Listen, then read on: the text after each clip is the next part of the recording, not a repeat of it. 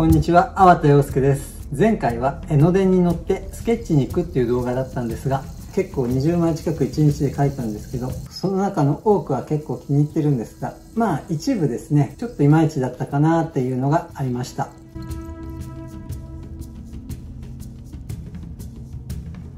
お墓だ。そこで偶然入り込んだお墓の景色がすごく気に入って、その場では描けなかったんですが、別の場所でこの絵を描きました。でも私はこの絵あんまり気に入ってなくて、でもあのお墓で感じたなんかエネルギーみたいの、そういったものをどうしても表現したくて、今日はキャンバスにスプレーペイントで絵を描き始めました。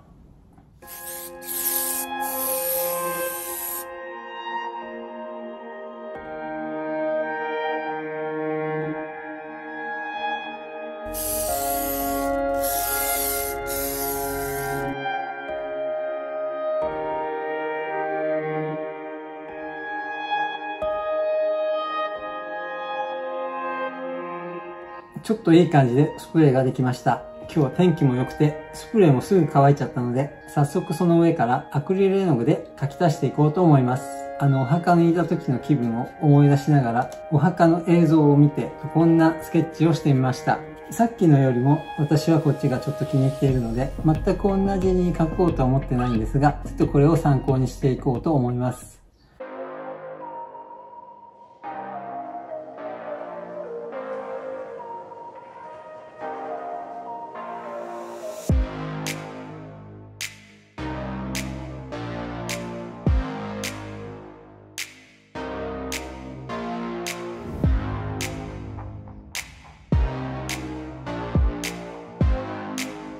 アクリル絵の具で描き始めたんですが、なんか今描いてるのは、こういう形的なこと、そういうことだけで、なんかあの時のエネルギーっていうのが全然出せないっていうか、あの時のエネルギーはきっとあの時のあの場所でしか感じることができなかったんじゃないかと思います。なので今感じることができません。まあしょうがないので、今この瞬間の気持ちとエネルギーで気持ちを切り替えて描いていこうと思います。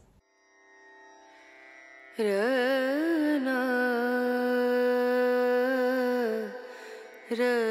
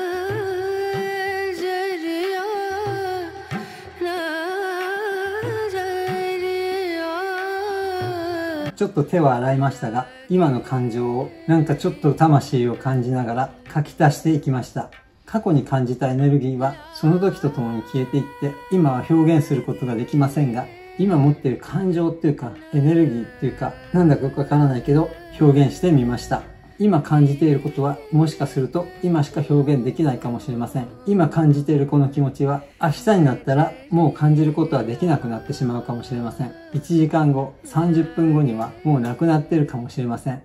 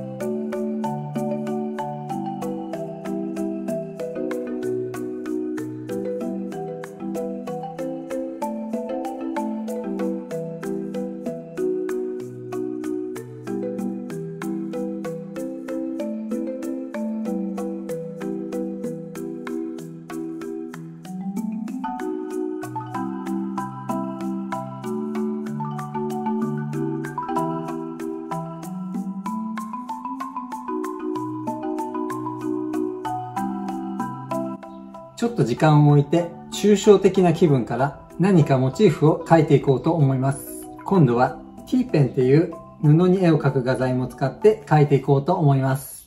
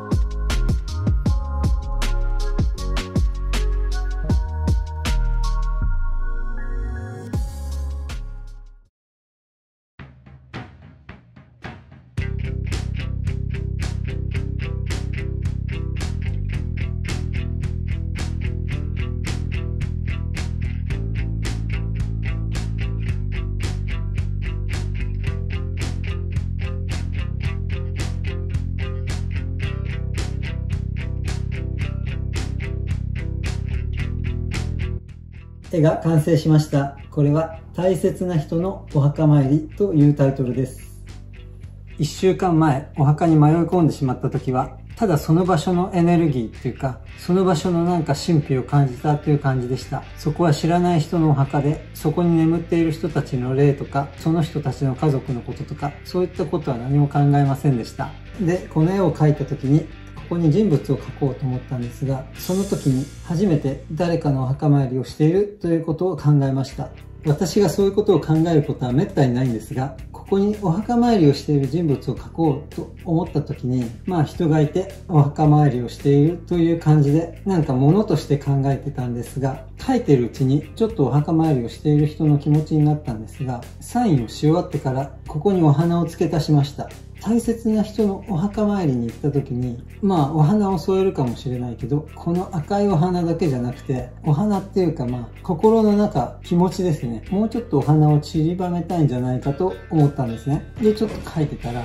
私自身がお墓で眠っている人の立場っていうのをちょっと考えてみたんです。一昨日行ったお墓は誰もいませんでした。で、静かなところでした。平和な感じがしたんですが、そこに大事な人がお墓参りに来てくれたとしたら、その人がもしお花を持ってこなかったとしても、気持ちの上ではたくさんお花が咲いたような気分になるんじゃないかと思ったんですね。で、ちょっとお花を足して、で、完成ということにしました。このイメージはお墓を見た時のなんか石碑とか仏様の石像とか墓石とかねそういうものがすごく神秘的に見えたんですがそういうのも素晴らしいんですけど、私が表現する世界とはちょっと違うなと思ったんです。なので最初に思ったイメージとかなり違うものになりましたが、私はちょっと緩くてだらしない人間なので、なんかそういう厳格な仏教の世界みたいな、そういうのを表現できるような人間じゃないのかなって思いました。でもその代わりに違う形で私らしい表現ができたので、このキャンバスね、私はとても満足しています。このチャンネルではアートの楽しさ、モチベーションやインスピレーションをシェアしたいと思い動画を作っております。よかったらチャンネル登録をよろしくお願いいたします。また、この動画が良かったと思った方は、いいねやコメント、チャンネル登録などいただけると励みになって嬉しいです。最後までご覧いただきありがとうございます。また次回お目にかかりましょう。さようなら。